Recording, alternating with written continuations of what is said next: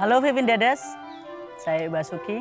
Kalau kalian pengen tahu anything about tennis, ayo aku kasih tahu.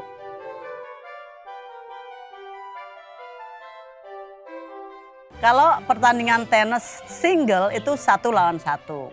Kalau kita mainnya double itu dua lawan dua.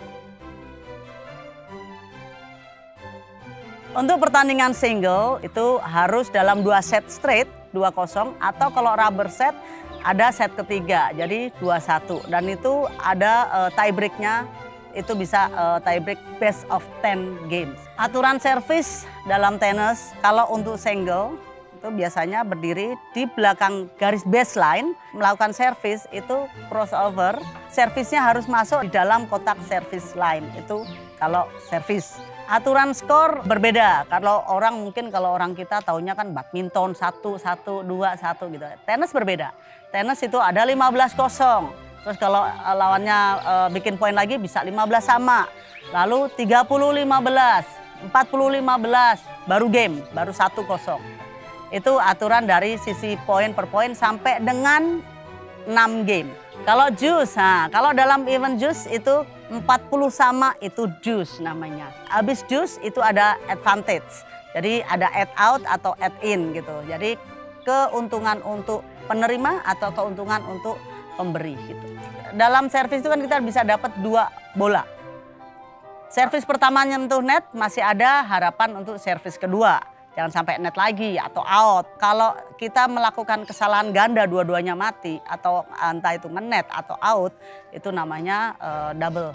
Ini namanya single alley. Kalau kita bermain single harus selalu berada di dalam. Jadi bola kalau begini keluar.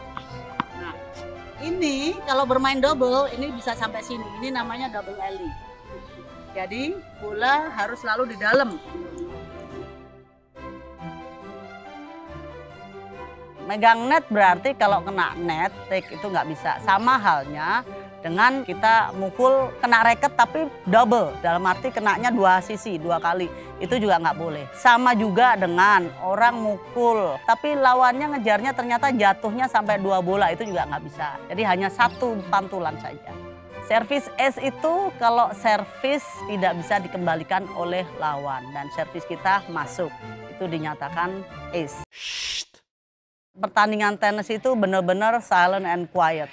Nggak usah orang mau saling mengolok ya ibaratnya. Tapi ada penonton yang berdiri atau ada salah satu penonton yang jalan aja pasti pemain akan berhenti. Nunggu sampai dia diem, duduk, baru jalan. Jadi penonton pun harus silent. Oke, itu semua tadi knowledge sedikit pengetahuan tentang tenis dari saya. Mudah-mudahan bermanfaat. Selamat bermain tenis.